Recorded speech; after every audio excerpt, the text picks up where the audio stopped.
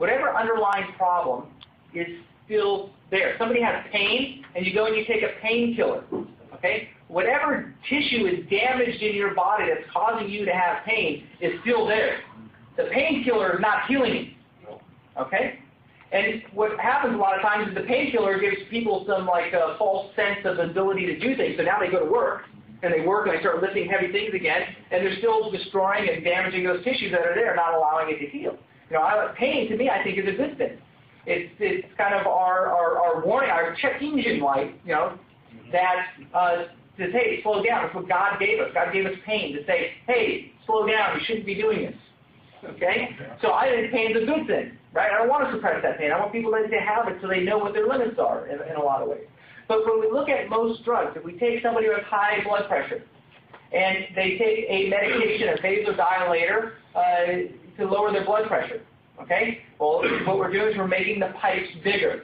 Right? We can go down to Larry's Plumbing down the street over here and ask Larry what happens if you replumb somebody's house and put bigger pipes in the house. Okay, he'll tell you lower water pressure out of the sink. Okay, but the question is, why did the person have high blood pressure? Let's not just take the symptom away. Let's ask why. So when we're going and we take things like Sudafed or NyQuil or whatever other medication, over-the-counter medications for colds and flus, we're suppressing our immune system. That's why we don't have the runny nose. The runny nose that you have, the cough that you have, that's your immune system functioning to help you rid yourself of the virus or whatever it is that's inside you. That's your body flushing it out. Right? If we stop that, okay, maybe we don't have to deal with the symptom that we don't want to deal with because it's annoying to us, but you're also stopping your immune system's ability to deal with the infection. Mm-hmm. All right? So we don't want to look at, we have so many people out there that, that go to medical doctors, they try to get drugs to suppress their symptoms, they don't get any help. And largely, it is because they have an underlying immune dysfunction that's taking place. Right? Something like Inforce can be greatly beneficial to these people.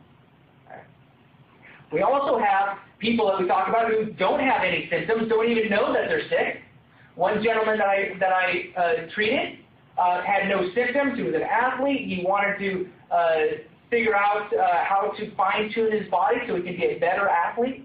He worked at a Whole Foods in their vitamin section in the Whole Foods. He took every supplement known to man. He got it for free from anybody who he wanted to get it free from.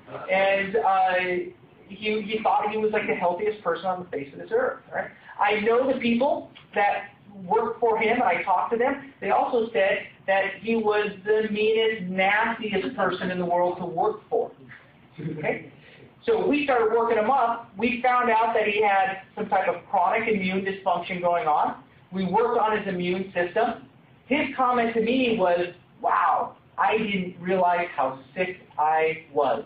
He goes, the world feels like it's been lifted off my shoulders. Wow the people who work for him said, came to, up to me and said, what did you do to him? because he's now the nicest person in the world to work for. So we have a whole host of people who don't even know that they're ill, and they are very ill. All right? Then we also have a group of people who we know who are getting sick all the time, fighting things uh, they can't get rid of. It's another great group of people that can benefit from inForce. And then we have people like myself who I have no known immune issue going on that I am aware of. I mean, I don't, but I'm not aware of it. Right? But I take nine a day because I don't want to be in that position. Amen. Okay? I'm going to do everything I can today so I'm not in a position of where I am ill and I'm fighting the battle to get better. I'm going to do everything I can today to position myself so I never get in there. And so one of the things that I do for that is I take nine Inforce a day. All right. Um, so um, the other thing that, one last thing that I just want to kind of end with just so that we, we understand um, is we generally use things like, we think that we, we're so concerned with our hand washing and touching things. You, know, you go into a bathroom and all the paper towels are on the floor because people don't want to touch the door. Um, And the hand sanitizers that we use all the time now are available publicly all over the place. You go to the grocery store, we get the towelettes and we can wipe down the grocery cart and all this, right? Because we don't want to get sick, right? Yet we still end up being just as sick as we always are. It change anything. But um, and one of the reasons why that is is most commonly disease is transmitted airborne. We're breathing it in. Okay? Think about it. When you go and you fly on a plane, right, you're breathing in everything that everybody on that plane has. Who knows what all those 200 people on that plane have, all right? But you're breathing it, all right? So that's so when we look at things that are getting into us from an airborne state, all right, that's bypassing uh, our body's kind of main. Actually, do you know the, the number one, the first line of defense that your body has as its immune system? Skin. Skin, absolutely. The skin, you guys heard this before. uh,